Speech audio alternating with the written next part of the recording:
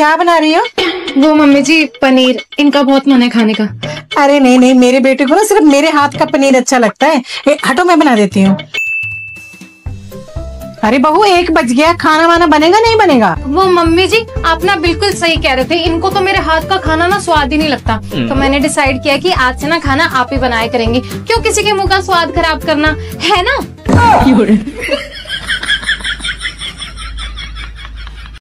अच्छी बीवी। न कभी शक करती, न कभी धोखा देती, न कभी तंग करती, न कभी पैसे मांगती, न कभी शॉपिंग पे जाती, न कभी परेशान करती और ना इस दुनिया में पाई जाती। वो कहता था, सात जन्म तक तेरा साथ दूँगा। कल गर्मी की वजह से मेकअप ही तो धुल गया था। कॉल ही नहीं उठा रहा है। मेरी पड़ोसी की बेटी पढ़ाई में इतनी अच्छी है कि उसको स्कूल के तरफ़ से रोज मिला बहुत सारा चॉकलेट मिला और वो भालू वाला टेडी बेयर मिला और चौदह फरवरी को उसको सब लोग टूर पे ले गए। ऐसा उसने अपने मम्मी पापा को घर में बताया। उसके घर में अखबार नहीं आते और उसके मम्मी पापा पढ़े लिखे भी नहीं। पंद्रह अप्रैल को रिज़ल्ट आया है कि वो फेल हो गई है। मेरे पेट में लोहा पड़ सकता है बात नहीं मैं सोच रही हूँ उसके मम्मी पापा को कैसे? शादी के कार्ड पे लड़की के नाम के आगे स लगता है और लड़का के नाम के आगे ची लगता है। इसका मतलब ये हुआ कि लड़की शादी के बाद सौ बातें आपको बोलेगी और आपके मुँह से ची चा चू।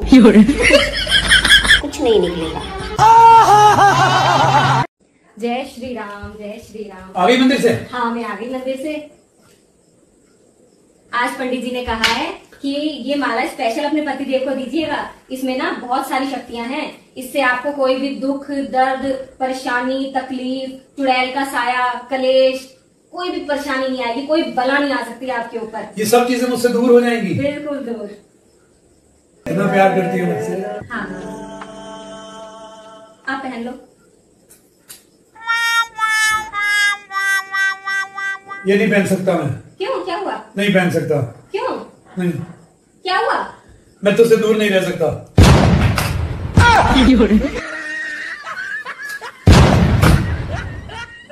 मुझसे दूर दूर रह सकता। आराम से। मुझे बिल्कुल आइडिया नहीं था कि सिर्फ़ दो हज़ार के नोट बंद हो रहे हैं। बिल्कुल भी नहीं। मैं डर के अपने भाई के पास गई और भाई से पूछी भाई मैंने सुना है कि दो हज़ार के नोट बंद हो रहे हैं। तो मेरा भाई बोला कौन बेवकूफ़ बोला कि सिर्फ़ दो हज़ार के नोट बंद हो रहे हैं? फाइव हंड्रेड के नोट भी बंद हो रहे हैं। और उसने ये कहा कि अब तो बैंक का डेट भी ख़त्म हो गया पैसा जमा करने का। ये सुन के मैं बहुत डर गई, क्योंकि मेरे पास आठ दस हज़ार रुपया सिर्फ़ फाइव हंड्रेड के नोट है। मेरा भाई बोला, ये तो रद्दी के भाव अब बिकेगा। एक काम कर, मुझे दे दे, मैं कोई जुगाड़ लगाता हूँ। अब तो दस हज़ार के नोट आने वाले हैं, मैं सीधा दस हज़ार का नोट तेरे हाथ में ला के दूँगा। और उस नोट में पता है क्या क्या होगा जीपीएस चिप होगा।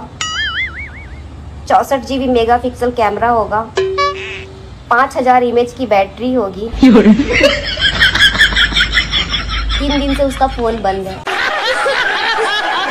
मैंने सुना है कि दो इंटेलिजेंट लोगों के बीच में कभी भी प्यार नहीं हो सकता। कोई एक इंसान मूर्ख होता है और वो खास करके मर्द होता है। और मेरे वाले कहते हैं कि मैं चाँद की जैसी खूबसूरत और बहुत इंटेलिजेंट हूँ। इसका मतलब वो मूर्ख है मैं तो बर्बाद हो गई। चाहूँगी मैं तुम्हें शाम सवेरे इस गाने में गायिका को दोपहर में सोने की आदत है। हर चीज़ में कमी निकालने वालों बताओ गर्मी में कोई कमी हो तो।